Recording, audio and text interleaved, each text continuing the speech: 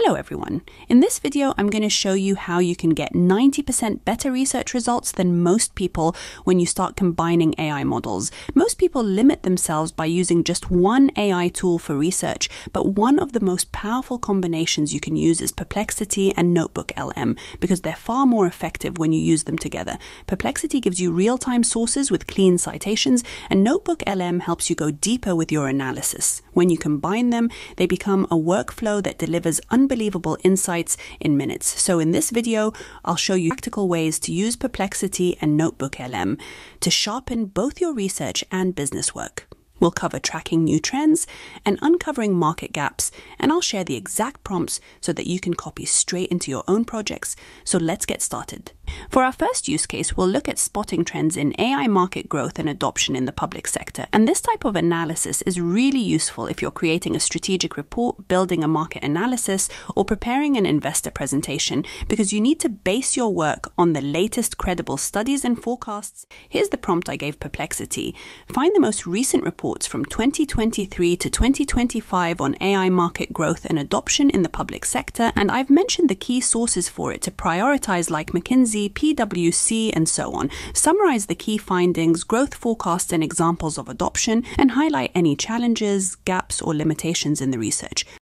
Okay, so you can see that Perplexity returned a ranked list with detailed breakdowns for each report. What I like here is that it doesn't just give titles, it pulls in the key findings, sector insights, methods, and even the limitations. For example, McKinsey's report is strong on adoption data, but weak on public sector detail. The World Bank's note goes deep into public governance, and Oxford Insights comes in from a different angle altogether. It's about readiness, not adoption, but still critical building a strategic report.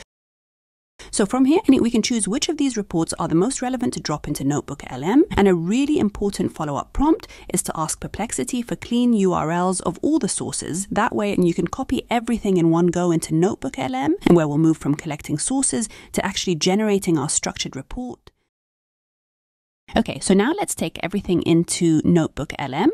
First step, so I created a new notebook and pasted in the URLs of the reports. Next, I clicked on Create Report. And here's the great part. Notebook LM gives you different report styles to pick from. You can choose a blog post, strategic report, white paper, concept explainer. Since our focus is on AI trends, I'm going to choose the strategic report.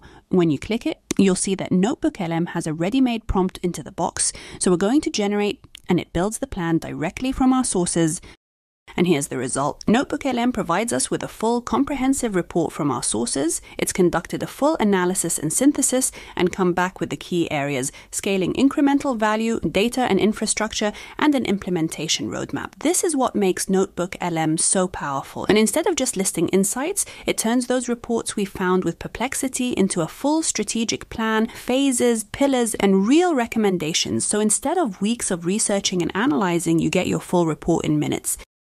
Okay, let's look at another use case. This time, we're going to see how Perplexity and Notebook LM can uncover market gaps by analyzing social discussions. Forums like Reddit are packed with real frustrations from founders and small business owners, and if you organize those insights properly, they can reveal real opportunities. So first we're going to add this prompt in Perplexity and make sure that here you set the source as social so we get the discussions and opinions. So our prompt asks it to search Reddit threads from 2023 to 2025 where founders and small business owners discuss their biggest frustrations with using AI tools.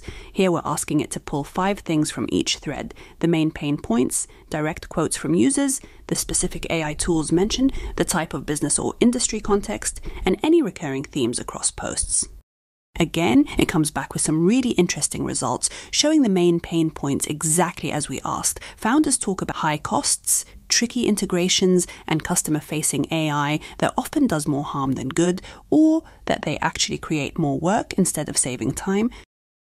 And again, we're going to add a follow-up prompt here that says, provide the clean URLs for all the above sources. Okay, now let's take these Reddit threads into Notebook LM.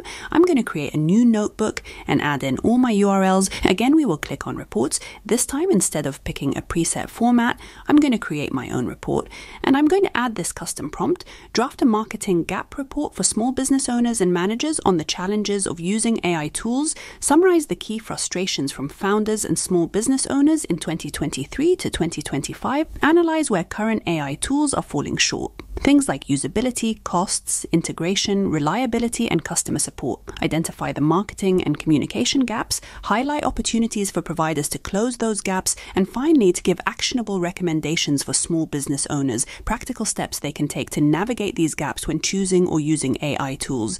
Okay, now we'll generate so here's the report Notebook LM comes back with, and you can see it's structured into clear sections. It starts with the reality check, showing how the hype around AI often clashes with the messy day to day of small business.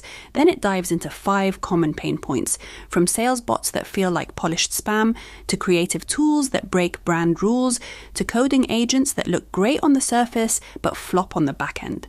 Next, it unpacks the deeper adoption barriers, things like lack of time, messy data, and the need to keep the human touch. It also shows the marketing reality gap, and, and finally, it flips that frustration into a playbook uh, with opportunities for tool providers and practical steps small businesses can take right now. So instead of a pile of scattered Reddit complaints, you get a structured strategic report, something you can actually use for decision making or market research. So you can see here, Notebook LM doesn't just summarize complaints, it finds the gaps and turns them into a structured market Gap report. So, as we've seen in this video, combining Perplexity and Notebook LM helps you build powerful workflows. You're not just collecting information, no, you're generating high quality research and transforming it into structured insights that you use to help you make decisions faster.